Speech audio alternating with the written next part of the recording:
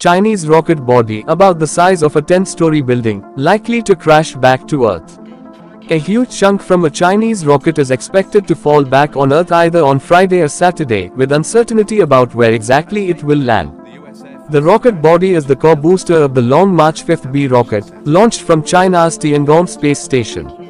The booster weighs 22.5 metric tons and is about the size of a 10-story building, according to the Aerospace Corporation, an American non-profit. The corporation said it expects the rocket body to make an uncontrolled re-entry back to Earth. The uncertainty of where the large debris will ultimately land presents a level of risk to human safety and property damage that is well above commonly accepted thresholds, it said. The corporation is keeping a close watch on the rocket body and will share predictions about its landing when more data becomes available. According to its latest prediction, the rocket booster will re-enter the atmosphere at 11:20 GMT IST 4:30 p.m. on Friday, plus or minus 3 hours. According to space.com, almost the entire Central America, a huge part of Africa and some areas of North America could be in the path of the debris.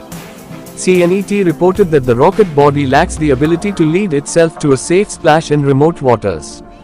Most of the rocket body is expected to burn in the atmosphere but stronger pieces could survive and make it to the Earth's surface posing a risk to infrastructure, the website said.